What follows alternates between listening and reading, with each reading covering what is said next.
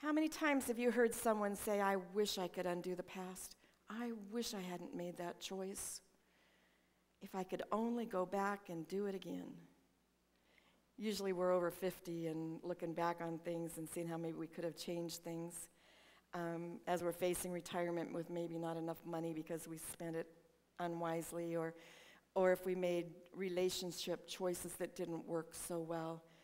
And we go, well, that's life. It is what it is. We know it's impossible to undo the past and start over. But in our scripture we read today, as part of the law that was given to the Israelites, they were allowed to start over every 50 years. And it was called the Year of Jubilee. It re- not only was allowed, but it was required that they start over in that 50th year. We read in our our reading this morning about all the things that would happen during that year of Jubilee. Well, not all the things because the chapter goes on and I didn't want to read all of it because you get tired doing that. But go ahead and read the rest of Leviticus 25 when you get home. It's very interesting. And it says the year of Jubilee will be announced by a trumpet blowing, and it would be to the sound of the tenth day of the seventh month in the day of atonement shall you make the trumpet sound throughout all your land. That's in verse 9 that you read. There was a trumpet that would blow with, that would announce the year of Jubilee, and it's after the Day of Atonement.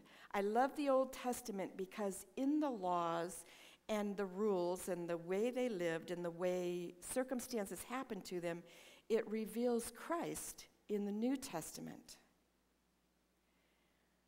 Our freedom from sin, our freedom from enslavement by Satan, which started with Adam and Eve, comes because of the atonement of Christ. And the Day of Atonement that the Jews had back in Leviticus, they would do sacrifices. And I don't want to get ahead of Pastor Dave with the ark, but when they sacrificed the animals, the blood was put on the mercy seat of the ark. It covered the commandments, the, the tablets of stone that were in the ark, so that when God looked down on the law, he saw the blood that covered the law. So the Israelites could not start over anew until that sacrifice was made that atonement sacrifice for all of their sins that they had done. And then he let them or gave them significant blessings in this year of Jubilee. Now, the significance of the trumpet, it was joyful and it was announcing the year of Jubilee. It was a proclamation this is the 50th year. This is when all the debts are canceled. This is when the enslaved are freed, when those who are in prison are let out, when those who have had to sell their property because they were broke get it back. When you lost your inheritance, it was returned to you. And that joyful trumpet made that proclamation that these blessings were about to start. That proclamation was the same proclamation that was announcing Jesus coming to earth, born of the Spirit and born of flesh. He was all man, he was all God. He came to proclaim truth and righteousness and freedom from sin. So that trumpet in the Old Testament carries forth to the New Testament. It was typical of Jesus preaching the gospel, saying, I am God. I am here to deliver you. You need to follow me. Psalms 89:15 said, "Blessed is the people that know the joyful sound." That trumpet was a joyful sound, not a mournful sound like the bugle that plays at a funeral, but a joyful announcement. Um, let's see. They shall walk, O Lord, in the light of your countenance. Jesus came and his blood was shed for our redemption for our regeneration by his Spirit, and his resurrection assured us that we would have eternal life. I already talked about the Day of Atonement in the year of the Jubilee. Israel was taught by the sacrifice that was made, by the blood that was put on the mercy seat of the Ark of the Covenant, that no blessing, no mercy, no grace can be given to us as sinners unless blood is shed. In the days before Christ, it had to be of a, of a lamb without blemish. After Christ made his sacrifice, no more blood had to be shed. It was shed once for all on the cross.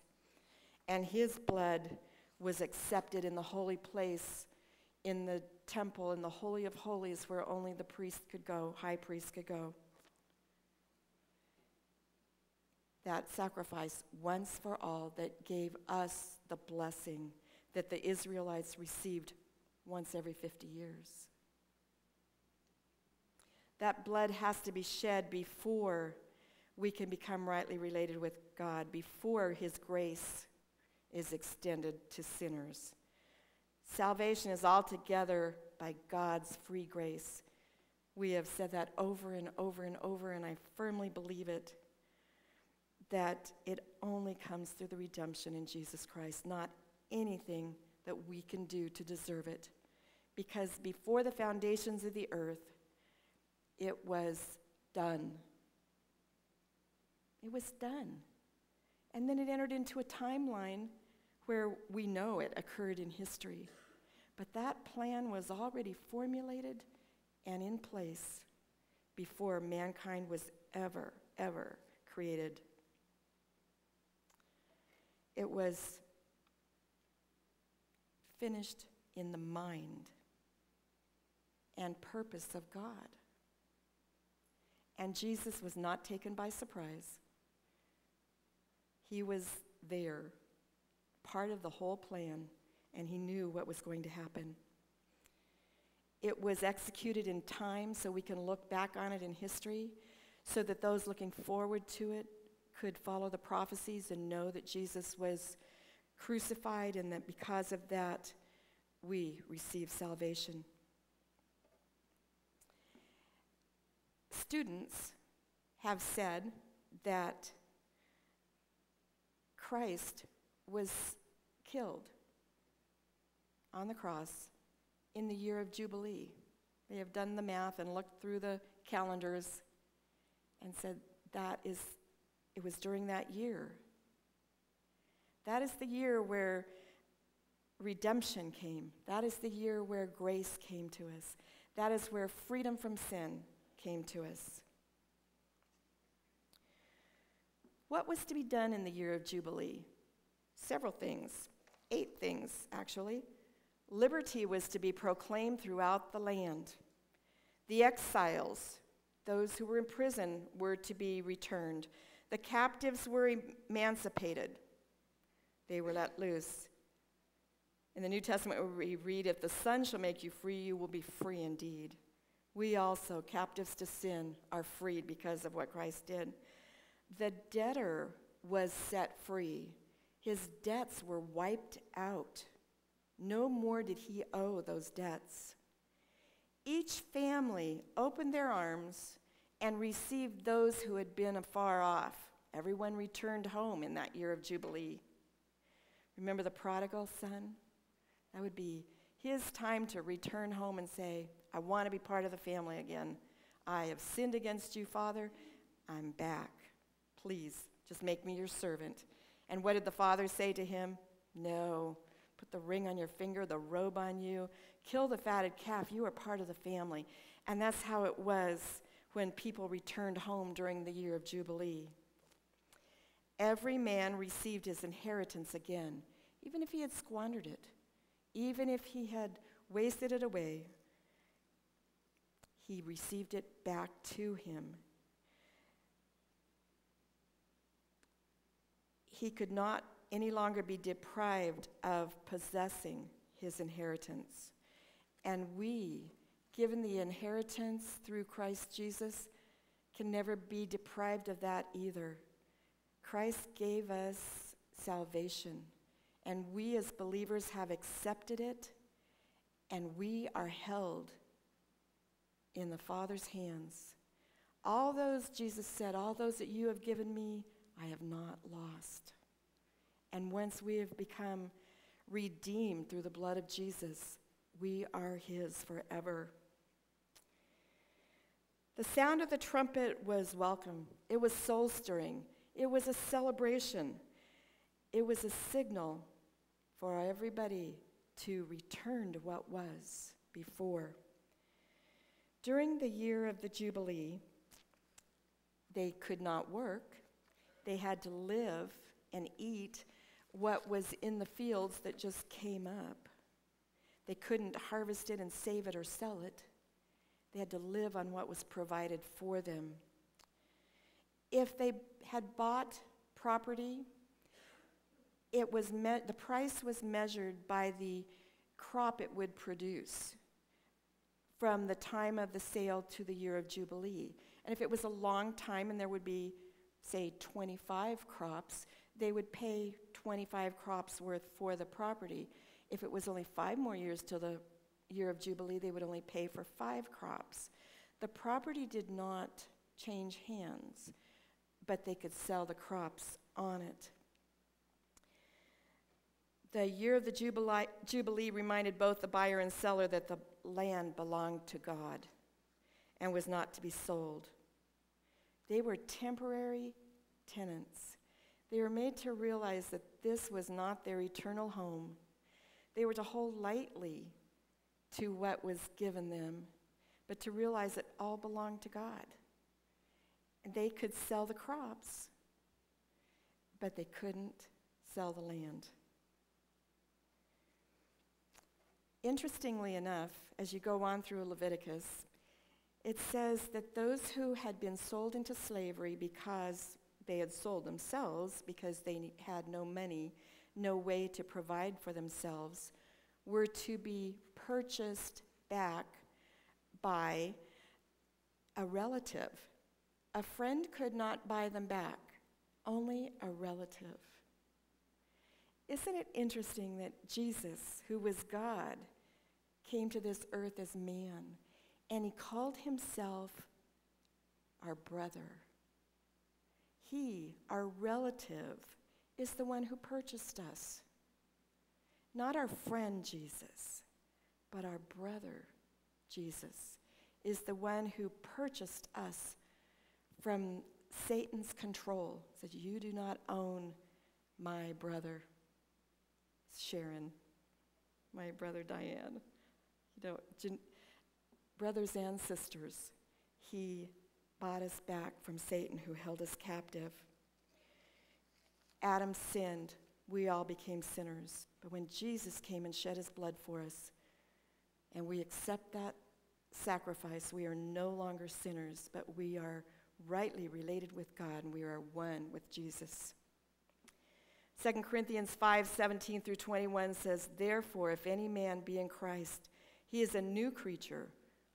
Old things are passed away. Behold, all things are become new.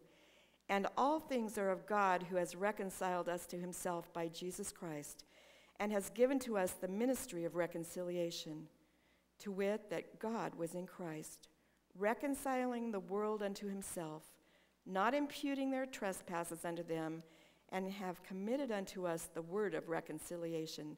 Now then, we are ambassadors for Christ. As though God did beseech you by us, we pray you in Christ's stead, be reconciled to God. For he has made him to be sin for us who knew no sin that we may be the righteousness of God in him.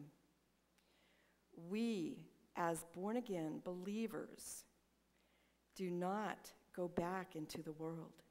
We may make wrong choices. We may sin because we are still human. But we have our advocate with the Father. We have Jesus Christ, our intercessor, who shed his blood for us. We confess our sins he forgives us for our sins and cleanses us from all unrighteousness. and says, Go on and do what I have called you to do. Walk in faith, believing the sacrifice I have made for you. We no longer serve the master of sin, but we serve Jesus Christ, our new master. And Paul said, What shall we say then? Shall we go on sinning so that grace may increase? No, we died to sin. How can we live it any longer?